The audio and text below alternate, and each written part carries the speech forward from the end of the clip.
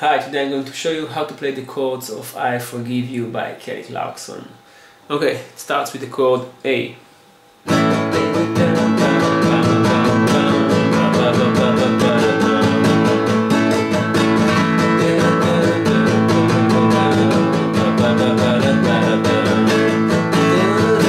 D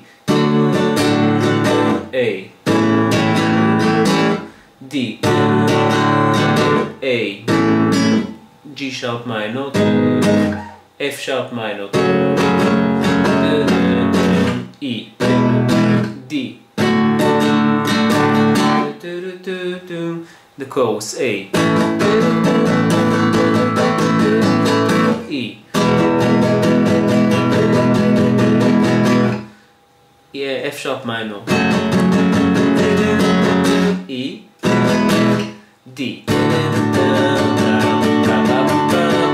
A E F sharp minor. E. D. G sharp minor. Okay. You can find the full version of this tutorial over guitarwin.com.